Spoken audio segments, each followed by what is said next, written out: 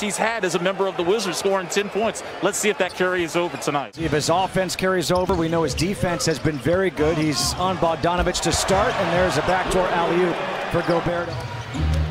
Mitchell against KCP, step back for three. Donovan Mitchell. The room for error will be very small. Yeah. Donovan Mitchell, the turnaround jumper, and this is the largest lead of the game right now for Utah. Mitchell misses over Beal in transition. Here comes Beal. Beal, little sidestep off the glass. Oh, oh look at that follow by Gafford! Tonight playing the Utah Jazz. Neto off the glass, and another follow dunk by Gafford. I love his energy.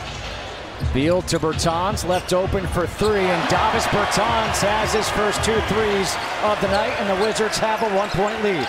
Just a little short on that. He'll, he'll make his adjustments. Ingles to Gobert, and Gobert will throw it down. He got this team to where it's at right now, being able to share the ball, moving it. There's Beal being the playmaker, lobbing one up to Trez. Clarkson Kick out. Here's Gay for three. Rudy Gay, the super vet. He came back. Yeah, yeah, he had six overall. Shot clock is down to five. Dinwiddie's back in. Dinwiddie to Harrell, puts it up quickly and puts it in. Let's be a double dribble, no? I don't want to snitch on him. Kispert for three, nails it. Three or four games, I might say. He's been off the bench. Doesn't take any time to get started. Rudy Gobert able to finish, picking up the offense with Mitchell on the bench. Trent Forrest has checked in here for Utah. Kispert for three again. Got two in a row. 27th game of the season for the Wizards. Corey Kispert has been struggling from three as Gobert throws it down easily again. But I think this is the season they got to prove to the people, are you just a regular season, a good regular season team? Mm-hmm. Or can you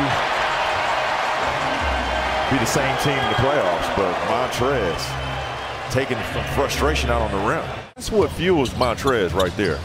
Those type of plays. Nice strip by Forrest. In the corner, Mitchell for three. Donovan Mitchell. He is three of four from downtown.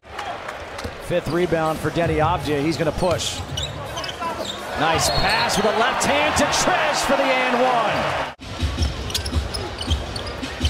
Gafford against Bogdanovich. Lost it right to Neto, though. Great cut by Raul Neto. Conley to the hoop. And a foul, late whistle against Gafford get prepared for the third quarter because one thing the Utah Jazz do, they make adjustments at halftime. They lead the NBA not only they're second in scoring, but they lead the NBA in second half scoring. That's 10 points off the seven turnovers for Utah. Dinwiddie all the way to the hoop, and Spencer Dinwiddie has his first field goal of the game. He's now one of five. Dinwiddie to the hoop. No, Gafford again. The gamble pays off for Wes Unseld Jr. Does Conley go at Dinwiddie here instead of lob to Gobert? Just too easy once. In the bind as a guard, and now the big has to step up in Gafford, leaving Rudy at the rim. Beal is two for two to open up this third quarter. Or that new deal. Hence, it's got to be the shoes. Yeah, yeah shoes. Oh, yeah. But a careless turnover here by Gafford. Conley with the steal. Here's O'Neale for three. That's one of those that you just cannot do. That was the first foul against Field. Second team foul here of the third quarter. Bogdanovich. Nice finish with the left.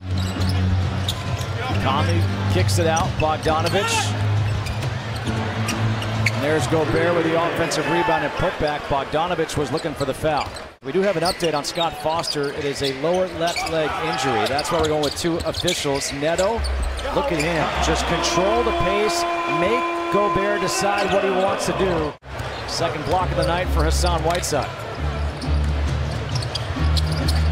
Donovan Mitchell off the glass, 22 now on 7 of 13. He's been efficient. And a five-point deficit. Bertans steals that pass. Beal challenging Whiteside off the glass, got it. I love it. I love the use of the body by Brad.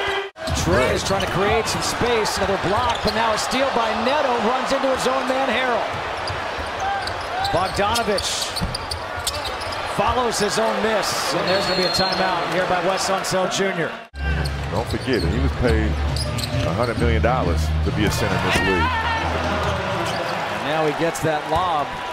Justin, the other night I was watching them play the Sixers, who also has a really good one-two combination with their bigs. We think about Embiid and Drummond. Oh!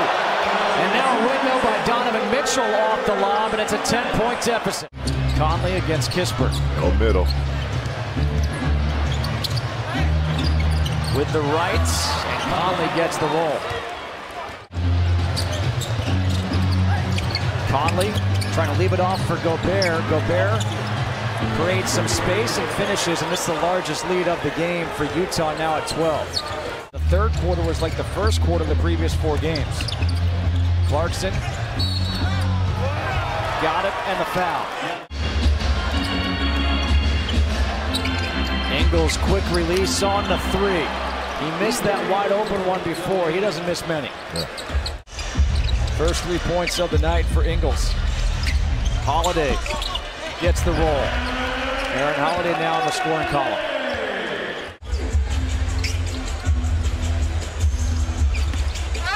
Holiday got it and the foul. For lob or to run out to these guys for threes. But I like that. But what I don't like is the free throw attempts of the Wizards. Five for eight. Gobert throws it down the alley-oop, and the Utah Jazz bench erupts. Was at the end of the half. Wow.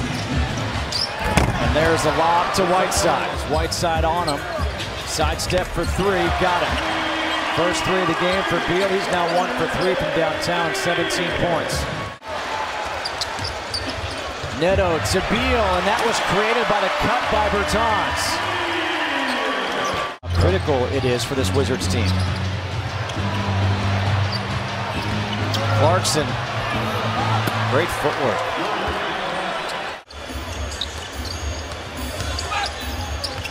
Beal to Gafford. Whiteside clears out. Yeah, he knew better. That's one thing about good shot blockers. They know to jump. well, what do good teams do? They make adjustments. If their outside shot is not falling in, what's next? Taking that ball into that painted area. And they did just that in this second half, not settling. And what we saw early on, they, they showed their hand. They showed us that they can play at a different type of level than what we saw maybe I'll say the last 10 games. They let the Jazz off the hook for not shooting more outside three-point attempts, if you ask me. Anthony Gill just in, gets the finger roll. They're not going to let up. This is the number one three-point shooting team in the NBA. They're not going to stop shooting threes, as you see. Hassan Whiteside with the reverse. The second half, it was all Utah.